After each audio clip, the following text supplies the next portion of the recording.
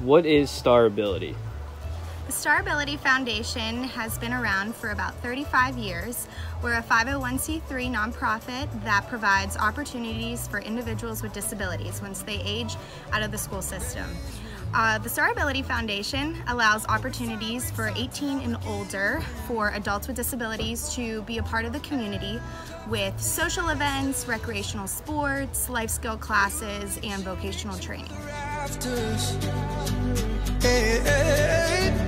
And most of the days we were searching for ways to get up and get out of the town we were raised, yeah, cause we were done. I remember we were sleeping in cars, we were searching for ours, we were burning cigars with the white plastic tips till we saw the sun. We said crazy things like,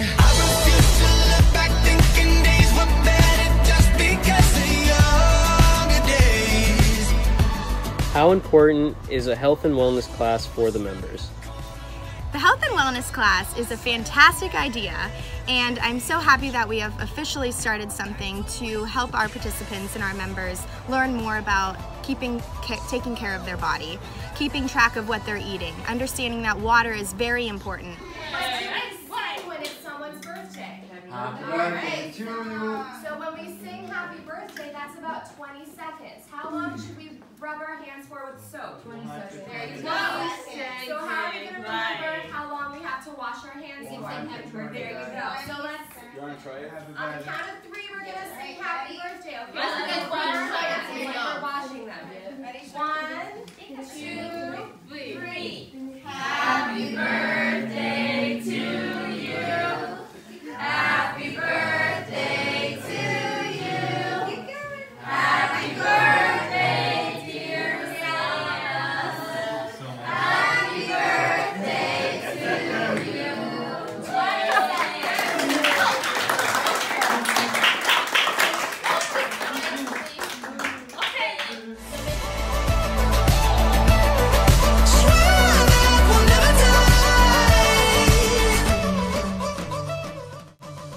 How important is it for members of Star Ability to interact with volunteers? Very, very important. Uh, they love meeting new people, and it's very important for them to stay social and to be involved in new activities. Yeah, we were swinging, swinging from the rafters. Hey, hey, hey. We were dancing cars, we were looking for eyes. We were naming the stars after people we knew till we had to go. And we were saying things like,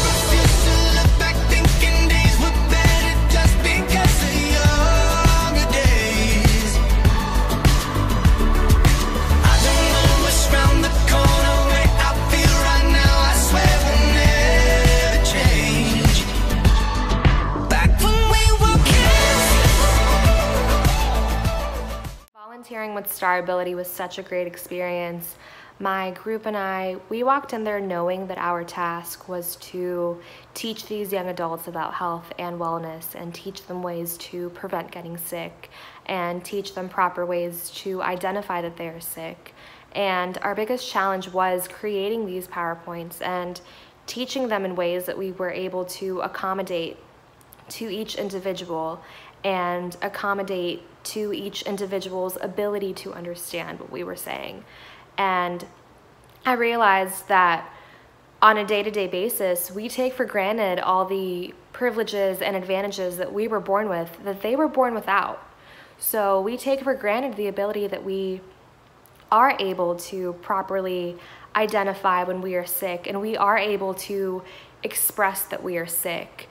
And these young adults, they just live their lives with so much laughter and so much joy. And it truly showed me that despite all of the abilities that we were born with, we tend to do the opposite. We tend to see the negative in life rather than the positive. And this experience was just so humbling and just something that I will never forget, honestly. I really enjoyed my experience at Star Ability. Um, I liked teaching the health and wellness class. We taught about the heart, how to exercise, how to eat right, and how to express yourself when you're not feeling that great. um, the most difficult part of this whole experience was accommodating each of the students' needs, coming up with PowerPoints, demonstrations, anything that we could to teach the students to the best of our ability. And I think my group did very well working together and teaching the class. Working with the members of Star Ability was a very humbling experience. Uh, when we gave our time and served the community working with them, we also received um, a very unique experience that I don't think any of us are ever going to forget. Um, we had to create a health and wellness class uh, for these members who don't really know um, that much about their bodies or how to express themselves when they're sick. Uh, so I think that was probably one of the hardest parts of this whole project. Um, it definitely impacted me by showing me how grateful I am uh, to be born with um, no disabilities, um, but also it shows me that even these members that have disabilities never have a neg- negative outlook on their life. They're always happy. They're always smiling. They're always giving high fives and hugs and whatnot. Um, but I think uh, working with the Star Ability um, Association, uh, we really showed that uh, people in the community care about um, these individuals and um, that they're not alone. As a communication major, I developed my own personal skills on how to communicate with the Star Ability students. It's important to treat everyone with the same respect and understanding you'd like to receive. Working as a team, we learn to be patient, tolerant, and respectful of each other's opinions. We had to manage our time to the best of our ability to complete this project in a timely manner. I feel that our community partners, Star Ability, greatly appreciate this project. The members reacted positively to our activities we provided, and working with my group and the Star Ability members has left a positive impact on my heart, and I look forward to working with Star Ability again in the future. Volunteering at Star Ability was an amazing and unique experience. It was great to give back to the community and see these young adults enjoy our classes and always smiling and happy and always have a positive outlook. Uh, what Starability does, it's amazing.